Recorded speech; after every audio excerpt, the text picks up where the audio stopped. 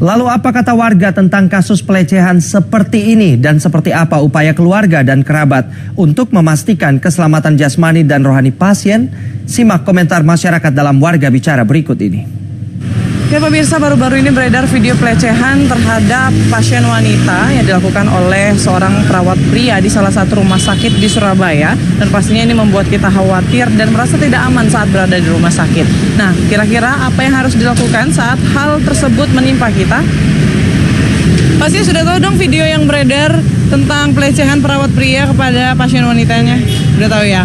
Nah kalau misalnya seandainya hal serupa terjadi sama Mbak, apa yang akan dilakukan? Terus lapor polisi sih. Tapi habis itu pasti langsung ngelaporin karena emang kalau misalnya didiamin terus itu bisa berlanjut terus-terusan. Saya akan menghubungi pihak yang berwajib untuk melaporkannya. Pasti ngelaporin sih. Saya mungkin akan melaporkan itu orang pelaku itu cuman bisa melapor ke yang berwajib aja.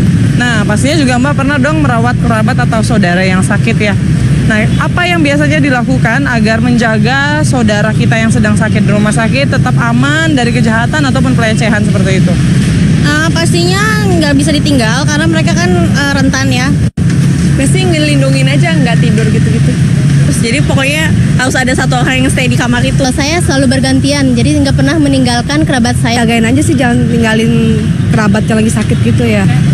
Ya mungkin saya akan menjaga dia di rumah sakit dalam 24 jam. Oke deh, terima kasih. Ya sama-sama kak.